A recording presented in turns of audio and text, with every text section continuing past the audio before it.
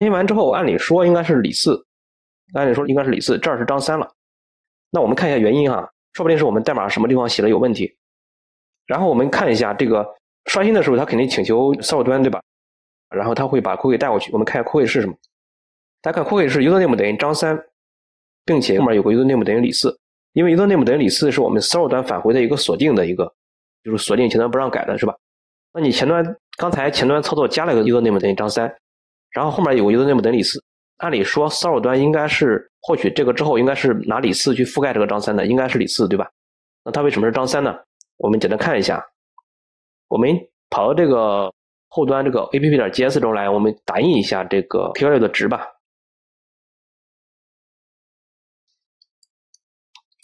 ky 的值，之前解析 cookie 的时候，好，保存一下，我们直接去刷新一下，因为客户端 cookie 还在嘛。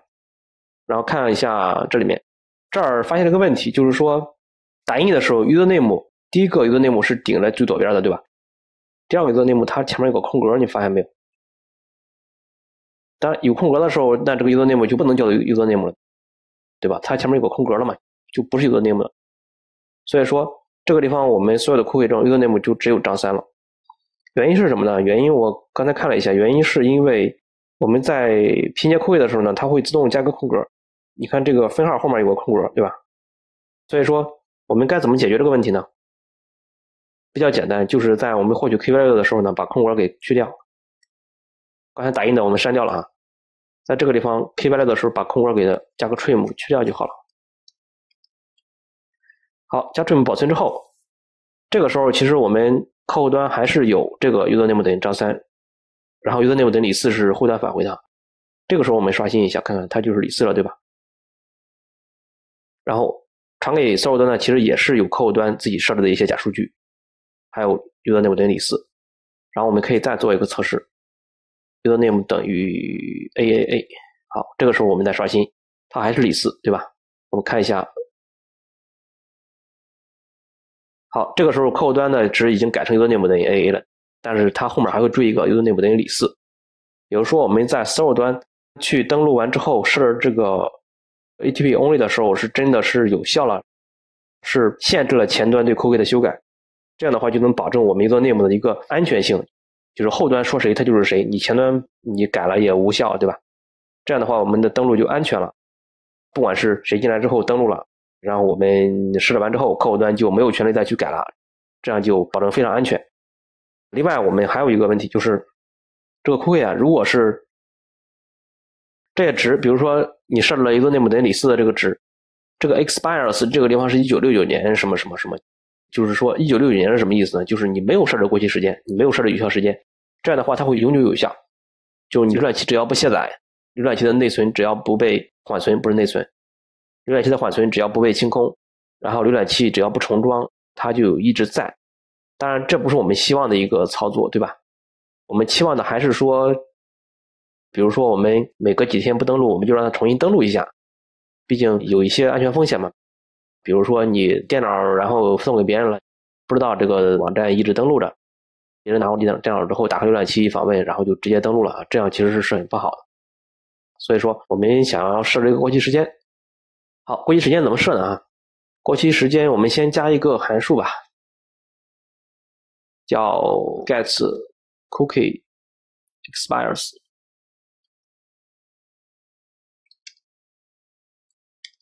就是获取 cookie 的过期时间，然后获取当前时间 new date，搞错了这个语法格式。好，然后 set time。d 点 get time 就是给它加一个什么呢？就是 d 点 set time 就是重新设置时间嘛。然后 d 点 get time 就是 d 的这个时间，加一个时间，我们加一个二十四小时，二十四小时乘以六十分钟乘以六十秒乘以一千毫秒。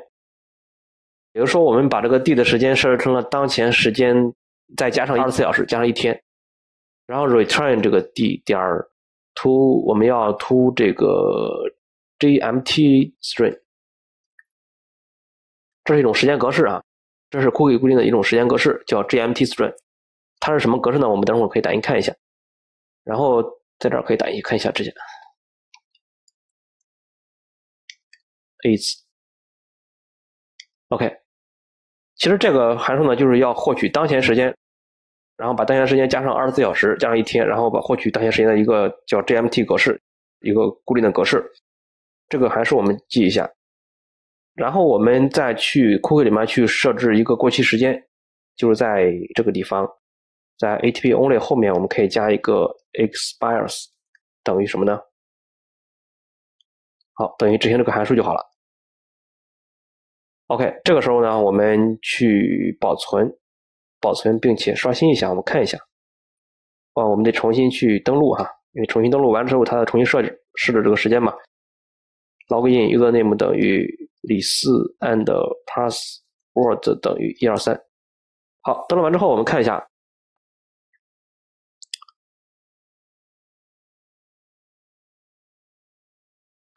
好，登录完之后，我们看一下 response 里面。现在 cookie username 等于李四，然后 pass 等于什么？ATP only 等于什么？expires 等于什么？这个时间呢，就是一个刚才那个 GMT 的一个时间，其实我们后端也应该打出来了，就是这么一个时间，这么一个时间放在 cookie 里面就行了。好，然后呢，我们再看一下 applications 里面。好，我们看一下啊，application 里面这个 username 等于李四。然后 pass 等于斜线，这个是跟之前一样的，对吧？拖一下，帮我选中。好，然后 ATP only 是对号，也是跟之前一样的，对吧？然后这个 expires 大家看已经不是这个一九六九了啊，你看这个 AA 是一九六九，它已经不是一九六九，而是二零一九年一月十一日什么什么什么，就是我当前时间的一天之后的一个时间。我当前时间是二零一九年一月十号，所以说它是二零一九年一月十一号。后边什么东西？然后具体的什么时间呢？其实从这儿就能看出来，就是从我们的控制台里面就能看出来，就能看出来是这个时间。然后包括从这个 network 里面，这个里面也能看出来，就这个时间，就是 server 端返回的时间。这样的话，我们总结一下，cookie 里面需要返回的第一个 username 等于李四，对吧？这是当前登录的一个用户名。pass 等于斜线，就是让这个 cookie 在网站前端所有的路由全部生效，比如说我们现在的路由是 API user login 这么一个路由，然后 API only 是保证我们的这个数据不能被前端所修改，这样的话能保证登录用户的一个安全性。然后 expires 能设置过期时间，这个过期时间可以自己来控制，对吧？如果是你这个 cookie 长时间不操作，比如说电脑合上了，然后你出去旅游了，旅游了一星期回来之后，那你这个 cookie 就没了。你就得重新登录了，这是浏览器的一个机制，所以说我们这儿要去使用起来。好，最后我们再回到这个 login text 里面再去看一下，username 还是李四，对吧？具体这个 application 里面我们就不看了哈，跟刚才是一样的，因为它的域名是一样的嘛，所以说域名是一样的，不管是访问什么样的接口，它的 cookie 都是一样的，都是可以共享的。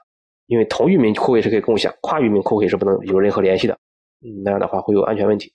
OK，我们操作完这个 server 端的 cookie 之后呢，我们再最后做一个总结吧，算是对 cookie 的一个总结。就是一开始我们知道了 cookie 的定义和特点，嗯，一开始说过，我为 cookie 总结了大约六个特点，每个都很重要，大家在后续去想一下有哪六个。然后前后端如何查看和修改 cookie？前端我们说了有浏览器中可以有三种方式去查看 cookie，然后 GS 可以修改 cookie，而且 GS 修改 cookie 呢？不是说我把 cookie 重新覆盖了，而是说它其实是追加 cookie，对吧？然后后端怎么去查看 cookie 啊？我们做了解析。后端怎么去设置 cookie？我们也做了，比如说设置 cookie 的内容，设置 cookie 的 path，设置 cookie 的 HTTP only，就是让前端不能访问做限制。然后设置 cookie 的 expires，就是过期时间。最后呢，是如何使用 cookie 实现登录？这个我们已经做了一遍流程，就是用个最简单的方式，访问那个 login。把用户名和密码传过去，然后验证登录。验证完登录之后呢，写入 cookie，然后返回给前端。前端再去访问那个 login test，login test 再去通过 cookie 去测试有没有登录。登录的话就返回，没登录的话就返回没登录，对吧？这个流程下来之后，我们其实这个到底怎么去实现登录验证，我们就已经通过 cookie 的这种方式来给做完了。到这一步，其实我觉得。登录这部分就相当于是你内容上可能还没有到一半，但是我觉得你的意识上已经到了学习到一半的地步了。剩下的还有一部分就是关于后端 session 的一些事情，我们接下来呢会继续说。